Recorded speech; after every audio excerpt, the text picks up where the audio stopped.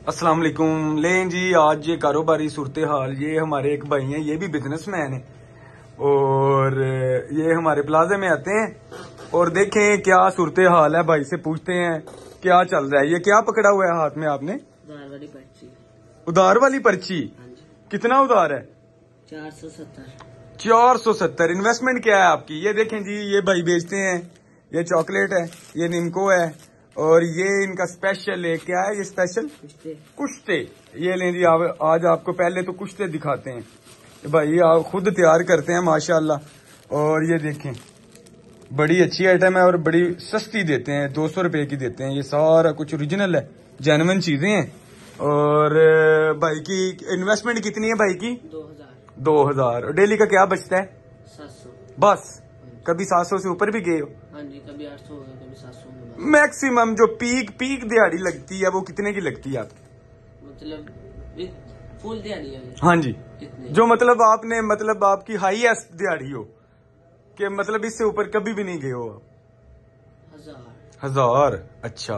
और ये क्या पकड़ा हुआ है आपने? उधार उधार लेना है मार्केट से? कितना उधार लेना है? चार सौ सत्तर। ये लेकिन देखें नाजरीन के एक बंदे की इन्वेस्टमेंट है दो हज़ार और उसका किराया डेली का चार पाँच सौ है। बेचारा गरीब गरीब आदमी जाए तो जाए किधर ये बताएँ।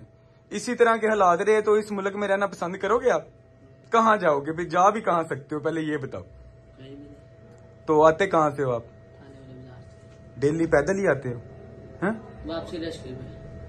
ठीक। तो घर में कौन कौन है? कमाने वाला कौन है? अकेले। बाबा क्या करते हैं?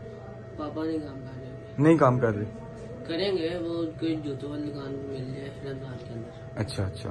चलो यार अल्लाह पाक आपके लिए आसानियाँ पैदा फरमाए। चलो बेटा आप पढ़ते क्यों नहीं? पहले ये बताओ। कहाँ तक पढ़े हो? तीन क्लास बस उसके बाद गए ही नहीं। स्कूल देखे ही नहीं। शौक से छोड़ा है? शौक से छोड़ा है? नहीं। अच्छा मजबूरियों के लिए। चलो अल्लाह पाक आपकी मजबूरियाँ आसान फरमाए। और चलो बेटा इसी तरह मेहनत करते जाओ और साथ साथ कोशिश करो पढ़ो भी क्योंकि पढ़ाई में बड़ा सुकून है बेटा और ये कभी भी रायगा नहीं गई। इनशाला मतलब अगर आप पढ़ लोगे ना तो ज़िंदगी के किसी न किसी लम्हे में ज़रूर काम आएगी आपके। चलो ठीक है nice to meet you good name Inam. Inam. चलें ठीक है नाम भाई। बहुत शुक्रिया। अपना ख्याल रखिएगा। अल्लाह हाफिज।